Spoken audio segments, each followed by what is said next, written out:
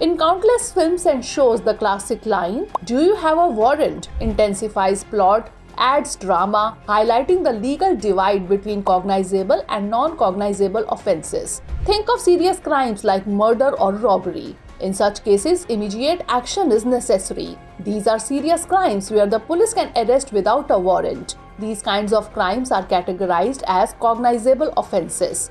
On the other hand, non cognizable offences are less serious. The police need a warrant to make an arrest.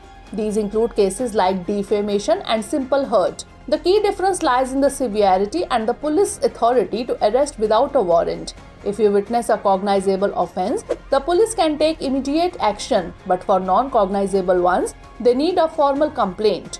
Like, share, and subscribe for more legal insights.